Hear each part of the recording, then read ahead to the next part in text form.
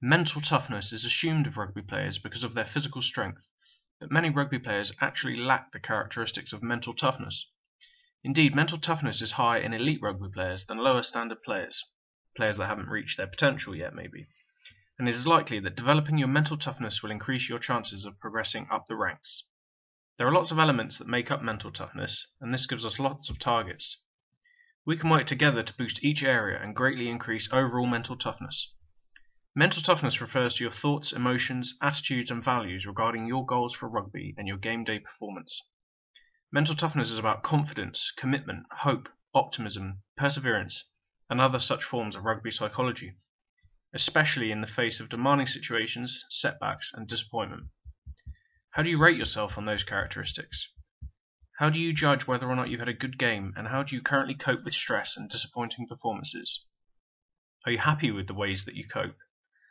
I would like to I would like to listen to you while you explain what situations tend to increase or reduce your self-belief, sense of control over the game's unfolding action, expectations of success, desire to put forth maximum effort, mood, the positivity of your emotions, and how these have changed over time and with experience.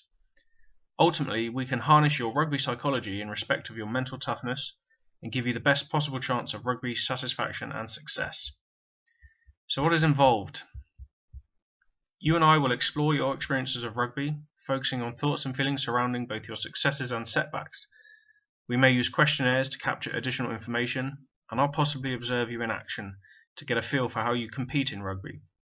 We will work together to establish where your strengths are in relation to the characteristics of mental toughness, and we will maximize them further. I will help you to evaluate setbacks in ways that promote development of your resilience.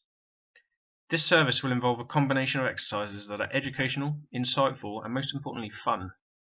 The positive outcomes we will strive for are things that will benefit you across various domains of your life. This is a Your Excellence Unlocked psychological coaching service. It can be bought independently or combined with other packages, including specific mental skills training packages, such as imagery training.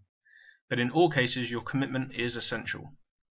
So, an approximate price, which is to be confirmed, for a 12 week package includes including sorry initial assessments tailored service design, consultations, take-home materials, evaluation and future planning is £400 and there are numerous ways to pay for this with your excellence unlocked. Thanks for listening. Mental toughness is assumed of rugby players because of their